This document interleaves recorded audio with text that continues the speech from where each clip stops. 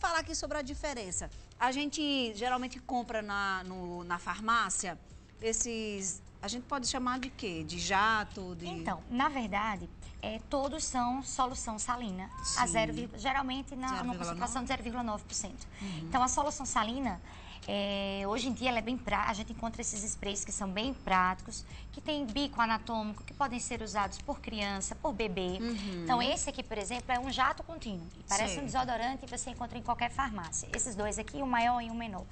Mas a gente encontra também os sprays, que são até jatos mais suaves do que o jato contínuo. Ou Pode perguntar. Eu, eu, uma vez eu ouvi dizendo assim, olha, o melhor de todos é a seringa por conta da pressão. Então, aí a gente vai conversar sobre a seringa agora. Ou o paciente pode também lavar com a seringa e o soro fisiológico. Então, uhum como é que a gente vai escolher a maneira, o modo de lavar? Isso, vai, isso varia muito de um paciente para o outro, do conforto do paciente. Uhum. Então, por exemplo, uma criança menor, um bebê, você pode usar com a seringa, desde que você lavar, usar a seringa para lavagem, desde que você comece com pequenos volumes uhum. é, e com baixa pressão. Entendi. Então, o que faz a lavagem nasal eficaz não é a pressão, Entendi. é o soro fisiológico, porque ele tem uma importância na lavagem nasal e na mucosa nasal. Uhum. Ele não apenas vai servir para limpar a cavidade, ele também atua na mucosa nasal, ajudando, ajudando essa mucosa a se regenerar, a diminuir o processo inflamatório. Então, o que importa não é só a pressão. Então, a gente pode começar com pequenas pressões. Alguns pacientes é, uma, é, sentem mais conforto lavando com esses sprays, esses dispositivos que têm uma pressão maior. Então, pode lavar com spray de jato contínuo, o spray suave ou até a seringa. Entendi. Tá certo? Inclusive, às vezes, vocês é, prescrevem a seringa de 20. E olha, a coisa mais difícil de encontrar é numa é farmácia seringa de 20. Seringa de 20. É tanto que da última vez que, ele, que o médico prescreveu para mim, disse, olha, me dê a seringa, porque eu não estou encontrando em Mas você pode começar com pequenos volumes. Um uhum. bebê, por exemplo, você pode começar com meio a 1 ml. Entendi. Lavou, depois pode lavar novamente. Você pode lavar o nariz várias vezes ao dia. Por exemplo, se você não tiver num quadro agudo, você pode lavar duas ou três vezes ao dia. No quadro inflamatório agudo, seja uma rinite ou uma rinocinusite, para adultos e crianças você pode lavar mais vezes. Entendi. Não há problema na lavagem nasal. Vamos ensinar como fazer? Vamos ensinar. Na verdade, é muito simples. Uhum. É, a recomendação, principalmente para crianças, é que a posição, que a criança esteja na posição sentada ou em pé. Então, geralmente, a gente não recomenda muito que essa lavagem seja feita com a criança deitada, porque a gente tem uma estrutura que se chama tuba auditiva que comunica o nosso nariz com o ouvido. E na criança, essa tuba é um pouco mais horizontalizada. Uhum. Então, existe uma tendência maior daquela secreção que está ali na cavidade nasal migrar para o ouvido. Uhum. Não é a lavagem que vai fazer a criança é, desenvolver uma otite, a lavagem nasal ela não leva a uma perfuração timpânica, como alguns pacientes têm dúvida.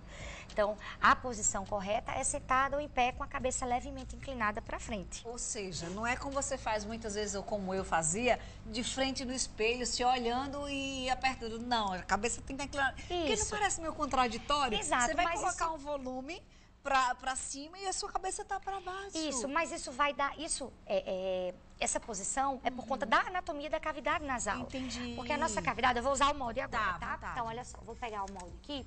Então, aqui é um molde bem simples, a nossa cavidade nasal. E esse é aquela imagem que você pôs antes, certo. anteriormente, aquele corte lateral. Então, a nossa cavidade nasal, ela não é para cima, ela não é verticalizada. Ela é nesse sentido aqui. Aqui é a boca, aqui está a nossa cavidade nasal.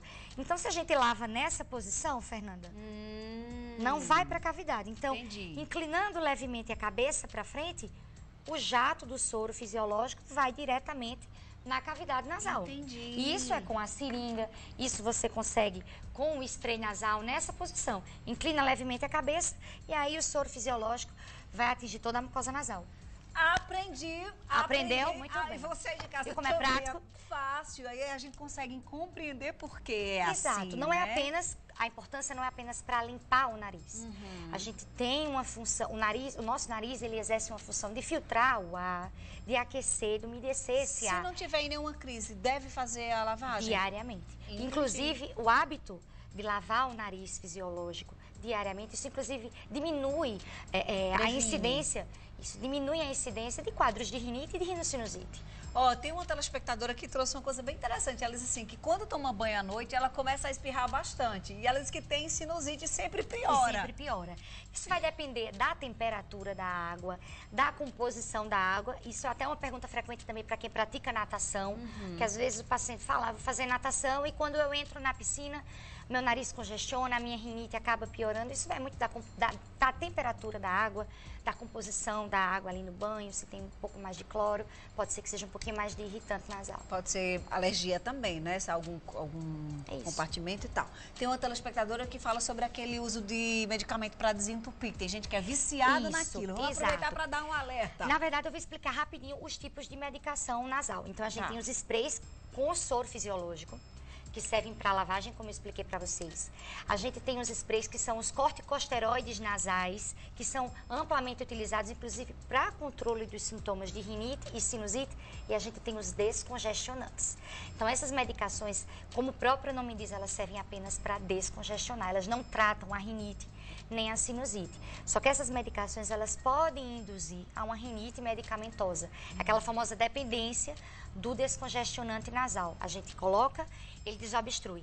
Passa o efeito da medicação, ele acaba obstruindo mais. Aí você acaba, você acaba entrando no ciclo vicioso da medicação. Uhum. Então, a gente não recomenda que seja usado por mais de cinco dias. Obstruir o nariz, não melhorou, procura o otorrino. Muito bom. Olha o Instagram da doutora ali. É a Al... Eu tô ali, viu? Aldi... Peraí, que agora eu vou ter que ir para um oftalmologista, viu, doutora? Auditom Brasil, dizendo... Da... É o da marca, né? Muito bem ali que a gente Isso, consegue na verdade, ter mais informações, tem né? muitas informações no próprio Instagram da clínica, Sim. que é a Clínica de Otorrino, Clínica de Otorrino PB. Tá. E a gente também tem alguns vídeos explicando as diferenças de rinite, inclusive os exames complementares que a gente pode fazer para diagnosticar bem o quadro de rinite alérgica e os outros tipos de rinite também. Muito bom. Um beijo, ah, um meu beijo, amor. Adorei. Adorei, adorei nossa conversa. Posso contar um detalhe? Pode, pode contar. Ela é a médica de Lavínia, que salva a vida de Lavínia sempre, a minha também. Vou falar